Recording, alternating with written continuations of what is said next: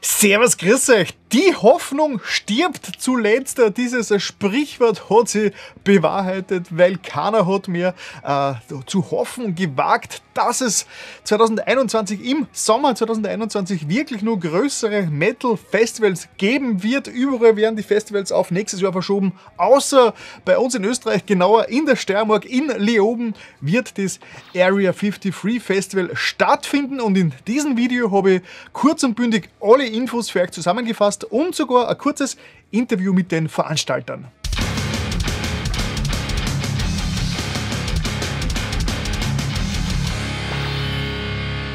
Ah, das gehört gefeiert. Das ist jetzt leider kein steirisches Bier. Ich war wieder mal zu, äh, zu nachlässig, um da äh, mich vorzubereiten. Aber ja, das muss das jetzt auch gelten. Aber auf das müssen wir einfach jetzt mal antrinken, dass es in fünf Wochen äh, ein Metal Festival zu erleben gibt.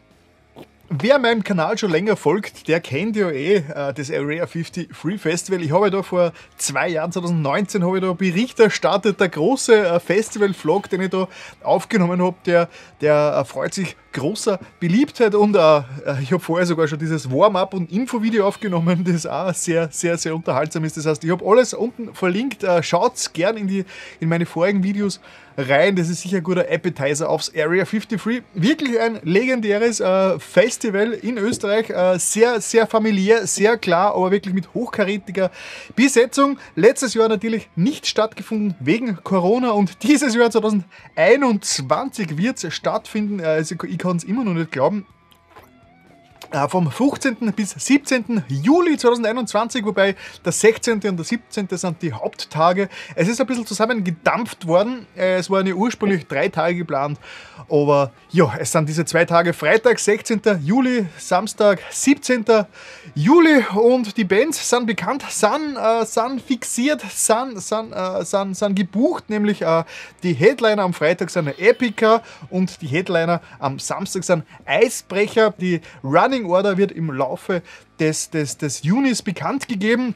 Aber ich zähle mal die Bands auf, die spielen werden, nämlich äh, eben Epica, Eisbrecher, Insomnium, Subway to Sally, Destruction, Kissing, Dynamite, äh, Omnium, Gutterum, äh, Burning, Witches, Crystal Viper, All Will Know, äh, Sinva, kann ich gut lesen, ne? Dann äh, JBO, Hämatom, Novgard, Chaos, Messerschmidt, Nailed to Obscurity, Silencer, Mission in Black Abyss und Firenze. Ja, äh, ich würde sagen, das ist ein wirklich tolles Line-Up, äh, wenn man bedenkt, dass das Ganze, die Entscheidung des Area 53 zu veranstalten, dass das erst letzte Woche gefallen ist und sie haben da wirklich in kürzester Zeit dieses Line-Up auf die Beine gestellt und äh, mir ist von den Ver Veranstaltern versichert worden, dass die anderen Bands, weil zum Beispiel Testament waren ja auch gebucht, ursprünglich schon, äh, dass das dann nachgeholt wird. Später dann, also nächstes Jahr 2022 wird es dann auch die Bands geben, die da eigentlich im ursprünglichen Line-Up dabei waren, aber jetzt aufgrund der äh, Pandemie, aufgrund von äh, Buchungsproblemen, weil zum Beispiel Amerikaner, also aus der, aus der USA, Amerikaner aus der USA, die besten Amerikaner der Welt bekanntlich, für die ist es ein bisschen schwierig aus- und einzureisen und so weiter. Deswegen muss man da ein paar Kompromisse eingehen. Ich habe gesagt, kurz und bündig zu den Infos, aber ich freue mich so, dass ich einfach vom Quatschen gar nicht mehr rauskomme. Genau, das Ganze ist wie gesagt äh, vom 15. bis 17. Juli. Das Ganze ist in Leoben, das ist in der Steiermark, also so im südlichen Österreich. Äh, die Anfahrt ist ganz easy auf der S6 Abfahrt Leoben West äh, und da ist dann eigentlich gleich ein Hornbach in der Nähe und direkt um den Hornbach herum passiert das Ganze. Das ist wirklich super easy zu finden. Wie gesagt, schaut in meine alten Videos rein, da kriegt ihr das alles schon anschaulich geschildert. Der Festivalpass über die Website, der, der über die Festival-Website kostet 99 Euro. Es gibt ihn zum Beispiel aber auch bei Metal Tix und auch bei Ö-Ticket, da ist ein ein bisschen teurer, so 10, 15 Euro teurer. Äh, aber überhaupt kein, überhaupt kein Beinbruch, würde ich sagen. Also ein toller Preis für das erste Festival nach eineinhalb Jahren äh, äh, ja, Pandemie und, und, und Live-Konzerte. Abstinenz, ziemlich geil. Äh, Caravanplatz öffnet am Donnerstag schon, am 15.07.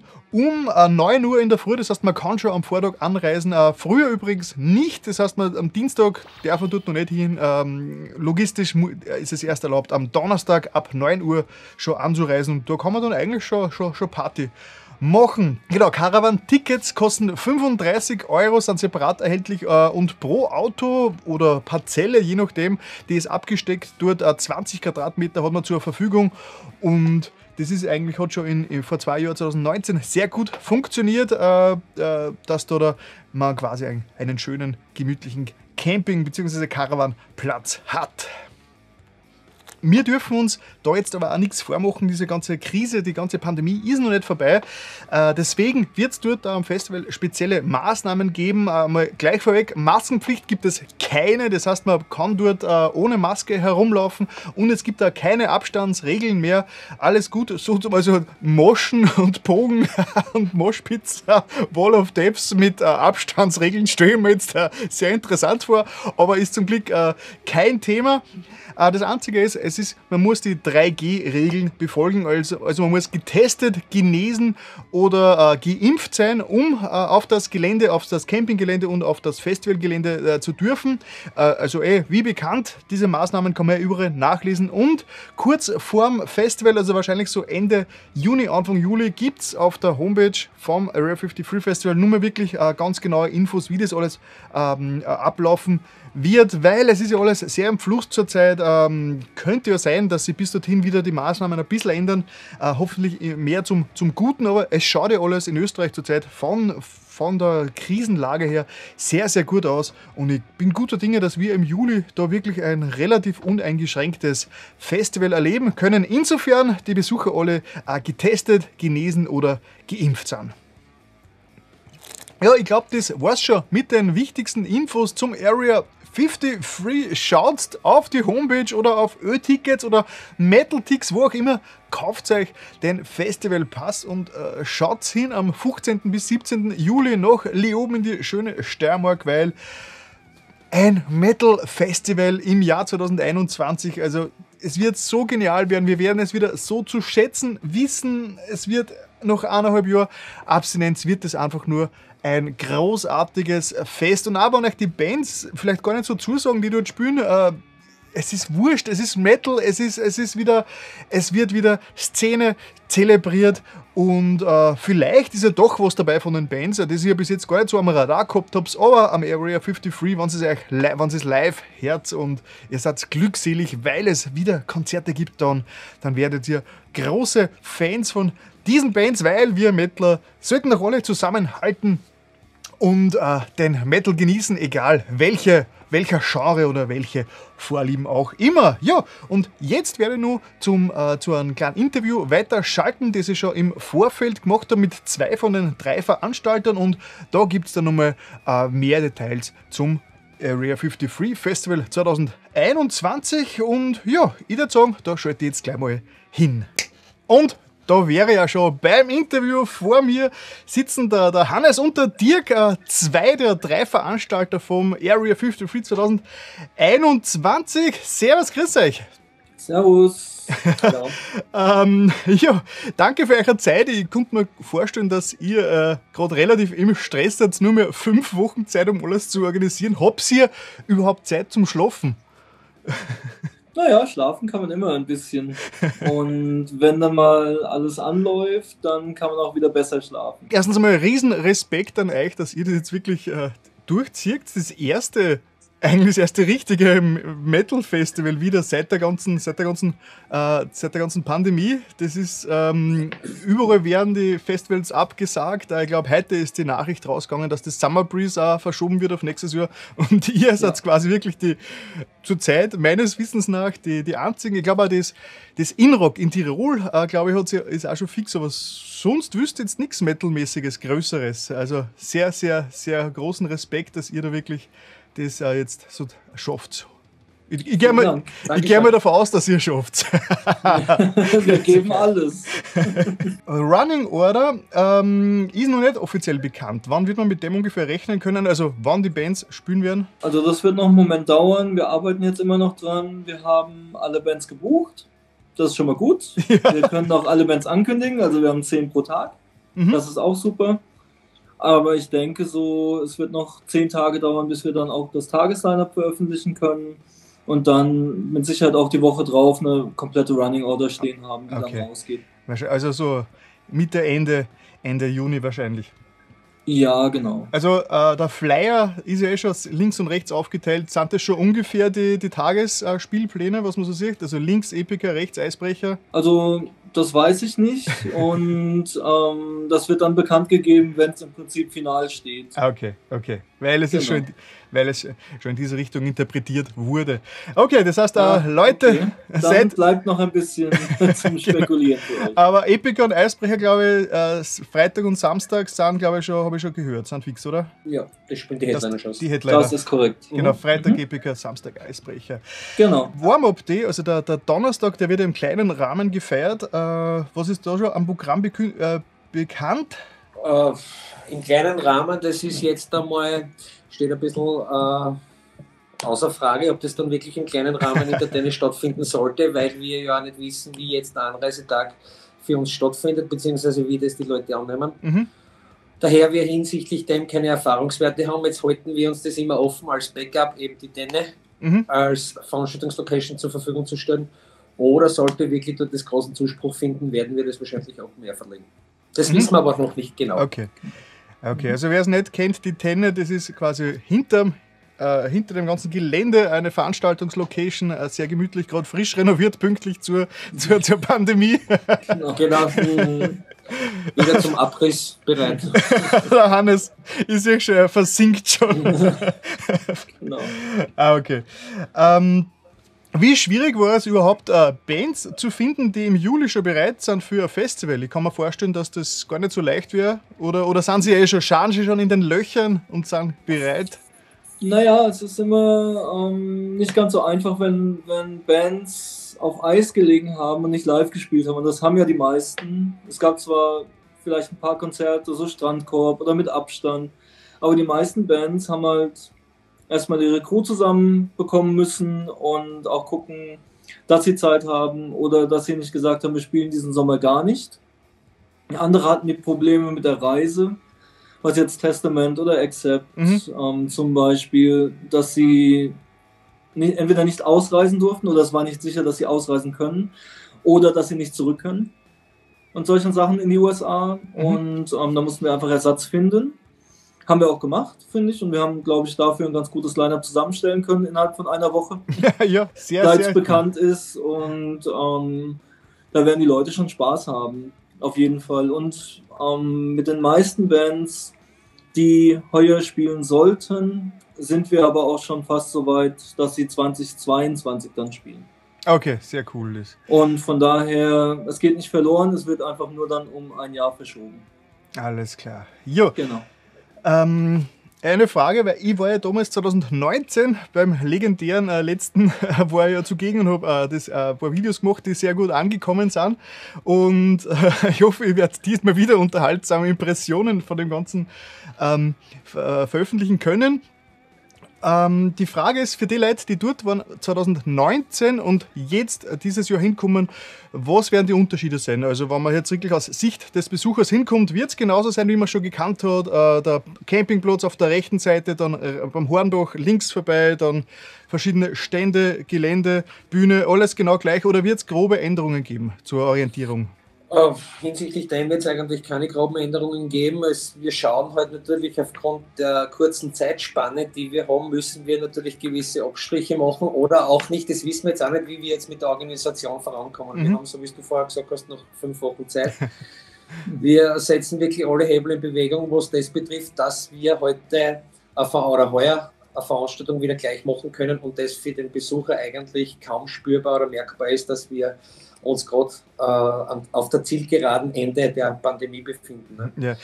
Die Unterschiede, was das betrifft, sind halt das, was medial auch sicher bekannt ist, das sind halt diese sogenannten 3G. Genau. Das ist die Einschränkung, die was halt vielleicht den Ablauf ein bisschen stören könnte oder halt das Ganze ein bisschen zum Stocken bringt.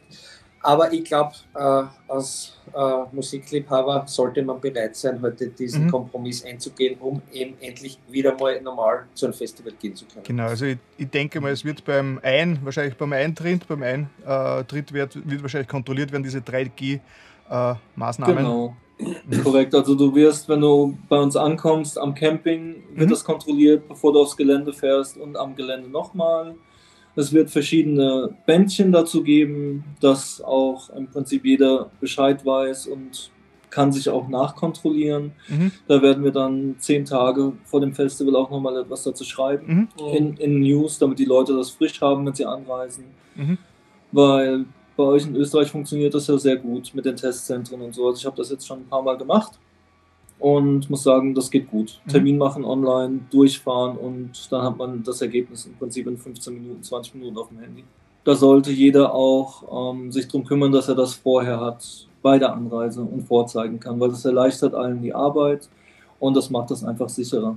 Mhm. Und daran, daran ist uns auch gelegen natürlich, dass die Sicherheit auch gewährleistet ist. Auf jeden bei Fall. allem Spaß. Genau, aber in fünf Wochen kann noch einiges passieren. Wir wissen das ja ähm, hoffentlich nichts. Hoffentlich bleibt die Situation so gut, wie sie zurzeit ist in Österreich. Die Genau. Zahlen sind sehr, sehr niedrig und man hofft, man geht ja davon aus, dass demnächst und weitere Schritte gelockert werden, auch mit Anfang Juli. Deswegen äh, drücken wir uns alle die Daumen, dass da nichts mehr dazwischen kommt. Aber ich glaube, wir sind da auf einem guten Weg. Und wie gesagt, äh, auf der Area 53 Seite und Facebook überall wird es dann kurz vorm Festival noch weitere Genau. Infos geben. Mhm. Sonst, äh, ich schätze mal, also Essenstände, äh, Merchandise, alles Mögliche ist wie gehabt, was man sich erwartet, weil irgendwo muss man ja sein, sein Geld ausgeben. genau. T-Shirts, gibt es T-Shirts vom 2021er? Ja, na klar. Sehr schön, sehr schön. Das gibt's alles. Eine Einschränkung, aber die auch alle Leute verstehen werden, ist, es wird keine Autogrammstunden geben Mhm. von Bands, Mhm. weil wir da nicht garantieren können, dass die Abstandsregeln, Mhm. die es vielleicht dann nicht mehr gibt, auch Mhm. nicht eingehalten werden könnten. Aber ich glaube, dafür hat auch jeder Verständnis, dass wir die Bands jetzt nicht noch ähm, bitten wollen, alle Autogrammstunden ähm, Alle, alles klar. Nur mal kurz zurück zu den zu die Maßnahmen. Wie ist es mit der Maskenpflicht am Gelände und mit Abstand und alles Mögliche? Das ist, stelle ich mir nämlich auf so ein äh, Open Air immer ein bisschen äh, schwierig vor. Abstand zu halten beim Moschen ist, glaube ich, nicht so ganz leicht. Nein, und das muss auch nicht mehr, ähm, nicht mehr nach den Regeln, muss kein Abstand mehr gehalten Mhm. werden. Genau. Und ähm, es besteht auch keine Maskenpflicht auf dem Gelände. Mhm. Und das sind die Bestimmungen, die im Prinzip rausgegeben wurden. Mhm. Von daher können wir nur Stand jetzt das genau so weitergeben, wie uns das gesagt wurde. Ja, das klingt ja alles, klingt ja alles sehr, sehr gut. Äh, ich, ich bin ja gefragt worden, ich soll euch unbedingt äh, fragen, welche, äh, welche Biersorte wird ausgeschenkt? Hannes, Zweite Frage für Hannes. Das ist eigentlich keine schwierige Frage. es gibt nur eine Antwort. In Leoben sind natürlich ein Gösserbier. Moment. Stammzuschauer können sich erinnern. Ja, Vier Leute, die 2019 dort waren, äh, die können sich natürlich eh noch erinnern. Das hat sich nichts geändert von der Location, aber für alle, die neu sind und interessiert sind, es ist äh, an der S6 äh, Abfahrt Leoben West und dann macht man euch einen, einen, einen 180er beim Kreisverkehr und immer Richtung Hornbach. Also Hornbach überstrahlt dort alles und dort ist man eigentlich direkt am, am Gelände. Das ist eigentlich sehr, sehr leicht zum Finden und der, der Campingplatz ist auch direkt beim, beim Hornbach. Ja, sonst, sonst irgendwas zum Sagen, irgendwas, was euch auf der Seele brennt. Jetzt ist eure, eure, eure Möglichkeit, zu den Zuschauern zu sprechen. äh, ja, es hat uns das Ganze natürlich nicht vereinfacht, nachdem dass wir eine sehr, sehr kurze Zeitspanne haben, das jetzt wirklich unter Dach und Fach zu bringen. Der Dirk war da wirklich äh, beinahe 24-7 da im Einsatz, da nachher wirklich diverse Bands nachzubesetzen und ich denke, man kann behaupten, das ist da wirklich sehr, sehr gut gelungen und da haben wir wirklich Mut erfreut. Äh, Der ganze Organisationsapparat ist jetzt da angelaufen, läuft auf Hochtouren und wir werden wirklich alles daran setzen und wir würden uns freuen, wenn unsere Mühen dadurch belohnt werden, wenn die Mettler zu uns nach Leoben-Schladnitz aufs Area 53 Gelände pilgern, das vom 15. bis 17. Juli und unsere Mühen damit belohnen. Genau, weil wir wollen im Prinzip, dass alle Spaß haben, weil wir selber hatten natürlich auch keine Shows die ganze Zeit und es wird Zeit, dass wieder was gemacht werden kann. Sehr, sehr geil. Nein, ich glaube, ich kann es auch kaum erwarten und es hat wirklich, es hat wirklich einige Tage gedauert bei mir, bis das durchgesickert ist, dieses es wird stattfinden. es wird verdammt mal stattfinden. Ein Konzert mit Bands äh, außerhalb Genau. des Internets. Das ist wichtig. Na cool. Super.